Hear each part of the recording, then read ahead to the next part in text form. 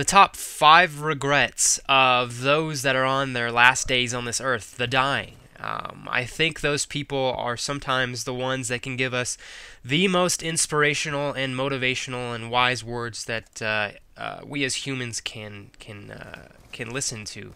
And that's why I wanted to bring this video to you guys. A few weeks ago, someone requested that I make a motivational video at the beginning of the 2013 year, and I did this last year, and I wanted to do it this year with the spin on it, and I wanted to incorporate the the five regrets of the dying, the top five regrets of, of people that are dying because I really think that these are the people that give us those words that truly matter. They are at their last stages and they're able to look over their entire lives and say, uh, what could I have changed? What do I wish I changed so that I would be happier at this, you know, at these last moments of my life? And so I want you guys to pay close attention to these five uh, regrets. I think that they're really important, and I think that just reading them and kind of touching on each one of them shortly is truly, truly inspirational. And I hope you guys really pay attention to it because I think it's there are five things that each and every one of us can totally uh, pimp it up in in life. And don't ever forget these five steps. You know, there's they're they're all extremely important.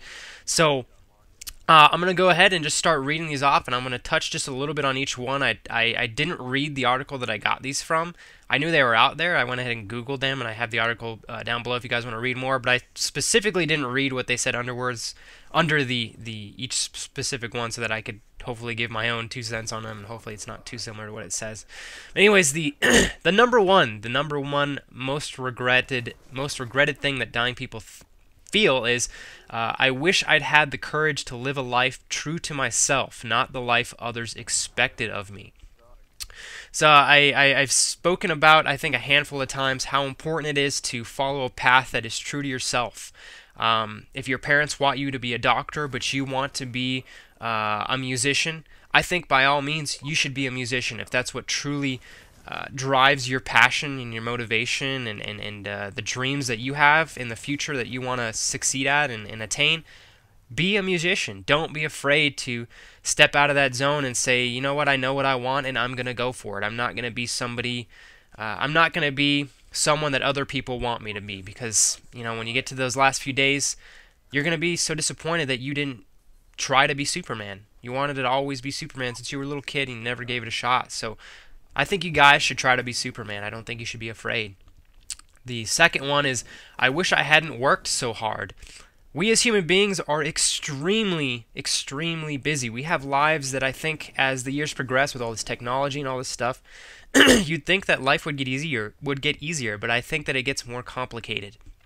And I think it's important for us to make sure that when life gets tough, we we tell ourselves, I know when to take a break, I know when to relax, and I know when to stop and enjoy life. Don't get too caught up in this uh, schedule of life. You know, there's there's times for working hard and there's times for relaxing. That's why we're here on this earth to live our life, and uh, that's that's a very important concept. So don't ever forget to live your life, no matter how busy you are. Set time aside to enjoy yourself, to enjoy your time here on this earth.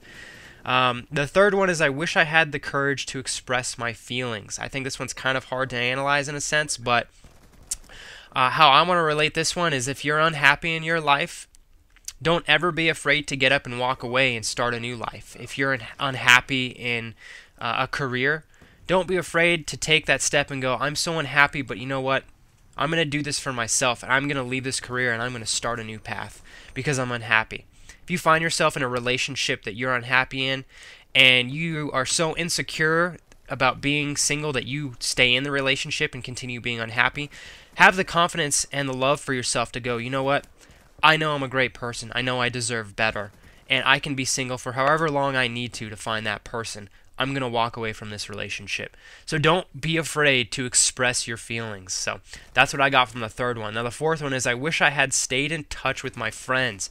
This one is so on par because I think as we get older, and trust me, guys, from the time I graduated from high school to where I am right now in college, uh, a handful of my friends I no longer speak to, and, and a few of them I have legitimate reasons for not speaking to. But what I will say, guys, is that the friends that are true to you, the friends that are your best friends, keep them close to you forever. And I don't care how far away you live, I don't care how close you are to them. If someone's important in you, important to you, keep them in your life. You know, G Money and I are best friends, no doubt. and uh, we live in two different states. We talk all the time. So if it's important to keep a friendship strong, I guarantee both of you guys will do it as long as you put the effort forth. And I think that it's important to keep those good friends by your side because you know what? Those are going to be the ones that are always there for you. So, I'm sure you heard that before, but that's kind of what I got from the fourth one. The last one is I wish that I had let myself be happier. And this kind of correlates with uh, with number three, I think. But I think this is truly coming to an agreement with yourself and knowing that you're going to pursue a life of happiness. And uh, you're not going to give up until you find that. A lot of people settle. A lot of people uh, get caught up in studying a career because it makes a lot of money, but they forget that their core values rely in in a different life that would make them happier, and that they end up chasing money, and in the long run they're going to be unhappy. So, I think that uh, you guys need to open yourselves up and let yourself be happy. You know, chase the things that make you happy. Be the person that makes you happy. Be with the people that make you happy, and do things that make you happy. And don't ever forget that. You know, life. I think uh, it's about living, it's about enduring the good and the bad, but you know what? While we're here, we might as well enjoy the, the good things as much as we can, and I think that's something that we all can work on, uh, you know, throughout our lives. So, guys, I hope you enjoyed this video. I hope that these five things really stick in your minds. You know that. Uh, I, I, I, I, I, this just is something that really hit me, and I, I figured I'd wanted to share it with you guys because I thought this is really interesting. You know, uh, hearing it from people that are that are on their few days to death, you know, what are these people going? God, I wish I would have changed this about my life so that I could be happier at this point right now. And, and I think that's something that's really impacting, and I hope that you guys take that to heart. And while you're still young, and while you can still make those choices, and even if you're old, there is no point at which you can't change your life around. You know, I made a video last year, the the first of first of January last year. I made a video called, I believe it's called any day can be a changing day. And I'll end with that. And that means that no matter what day in the year that you choose, you can set a resolution any day of the year and you can change your life any day of the year. You do not need New Year's to set resolutions. You do not need New Year's to justify a change in your life. Make it any damn day you want. And remember to pursue a life of happiness. Guys, thank you so much for the time you spent on this video. Truly hope you enjoyed it. As always, stay fly and stay fresh. And I will catch you all later. Peace.